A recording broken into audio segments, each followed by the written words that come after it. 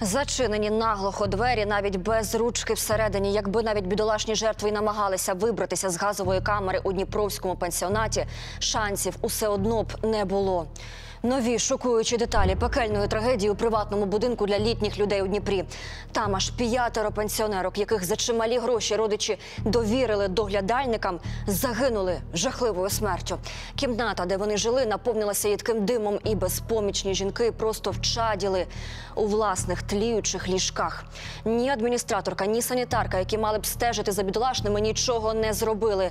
А що буде з власницею того пансіонату, який виявляється, працював нелегально та з кричущими порушеннями, правда від якої стає моторошно. Геть обгорілі ліжка, закопчені стіни та розкидані ціпки на чорній підлозі. Це та сама кімната, яка фактично стала газовою камерою для п'ятьох жінок. Уявити страшно, бідолашні не мали жодного шансу на порятунок, бо двері їхнього приміщення були зачинені наглухо і відкривалися тільки ззовні. Двері були зачинені, плотно зачинені, пластикова двері. Вона зачиналася снаружи, а знутрі ручки для виходу е, людей, які там знаходилися, не було. Там люди просто задихнулися від е, чадного газу. Загиблим пенсіонеркам від 75 до 89 років. Усіх у цей приватний пансіонат для літніх людей родичі здали за чималі гроші. Втім, коли там щось загорілося серед ночі, а їдкий дим убивав людей, жоден із доглядальників цього навіть не помітив за цілу ніч. П'ять мертвих тіл тільки вранці в закопченій кімнаті знайшла адміністраторка. Ще й до поліції про це повідомила чомусь аж за дві години. про те, що була пожежа в 7 годин ранку. Поліцію вони викликали в 9.25. Дві години чимто вони думали. Чому ж персонал так довго зволікав? Схоже, тому що працювали нелегально. Минуло півроку, як цей заклад для літніх людей у Дніпрі відкрила підприємиця з Харківщини у звичайному приватному будинку, який взяла в оренду. І, хоч спеціальної ліцензії такий вид діяльності, як виявилося, не потребує, та треба було принаймні пройти реєстрацію в пожежній і соціальній службах. Відтак, фактично, це був підпільний пансіонат. Він працював нелегально, е, він не був не був зареєстрований у реєстрі надавачів соціальних послуг, тому нам про цей заклад, на жаль, нічого не відомо. Ані пожежної сигналізації, ані дотримання правил безпеки. Саме це за попередніми даними стало причиною масової загибелі людей.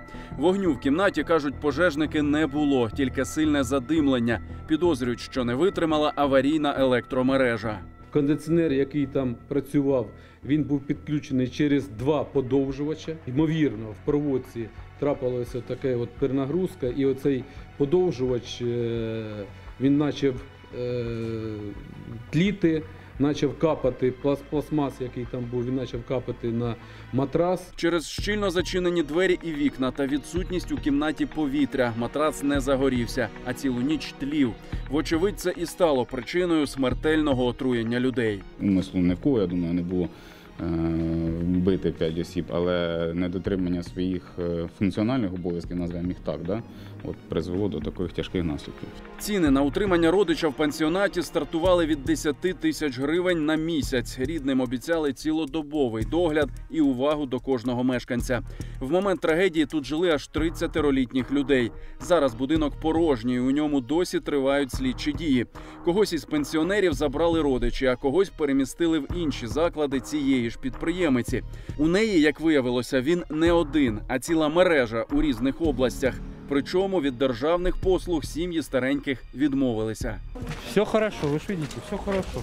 Масову смерть поліцейські розслідують за статтею порушення правил пожежної безпеки. Спочатку затримали тільки адміністраторку, а тепер уже й санітарку, що мала доглядати за кімнатою загиблих жінок, і власницю пансіонату. Для всіх трьох прокуратура проситиме арешт без права на грошову заставу. Винним у цій пекельній трагедії загрожує до восьми років тюрми.